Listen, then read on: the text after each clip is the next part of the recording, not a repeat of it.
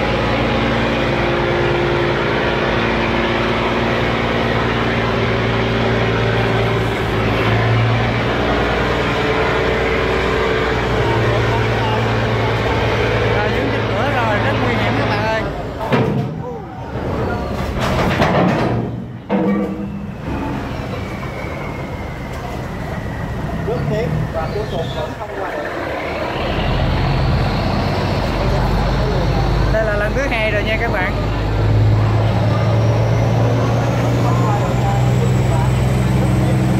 Lần thứ hai chiếc xà lan này buộc phải lùi lại để lấy đà tiếp theo nha các bạn.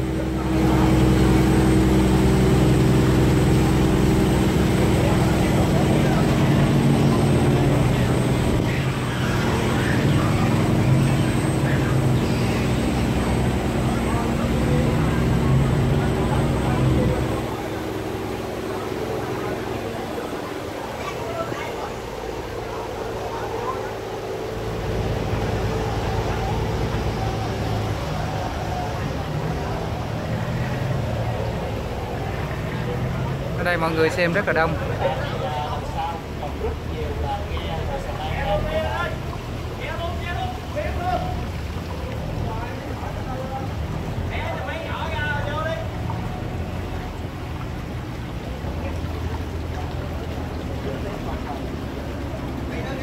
À, đây là lần thứ hai chiếc xà lan phải lùi lại các bạn không vượt qua được.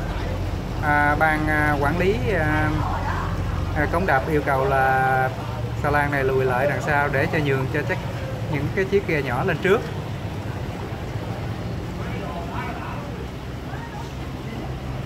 à.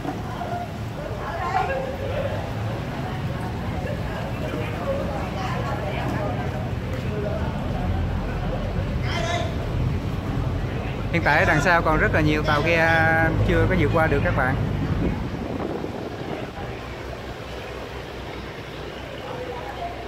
à, hiện tại cái à, cái cửa cống ở bên trong ra à, cũng đã giảm bớt tàu ghe và hiện tại những chiếc ghe bên ngoài vô tận dụng luôn cái cửa cống đường trong đi ra để à, vượt lên nha các bạn. Đây cái cửa bên này chính là cái cửa là ở trong ra nhưng mà hiện tại là à, lượng ghe tạo bên ngoài cũng rất là nhiều. À, nên là các tàu ghe này ghe tàu này tranh thủ tận dụng những cái đường này để vượt lên luôn à, chiếc à, xà lan chở đá nãy giờ là hai lần rồi các bạn hai lần vượt lên đều thất bại hết. Đây chiếc này à, đã vượt lên hai lần. Nhưng mà thất bại giờ đành phải lùi về đằng sau.